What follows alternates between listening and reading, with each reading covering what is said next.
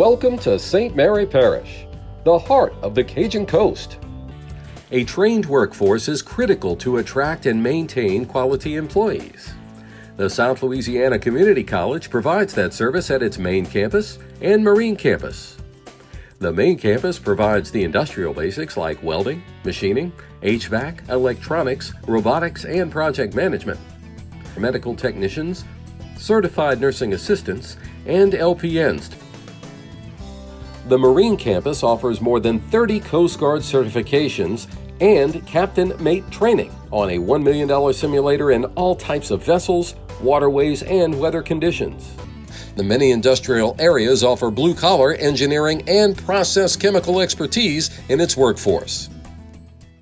Over 50,000 residents work together to make St. Mary a great place to do business, raise a family, retire, and everything else life has in store for you.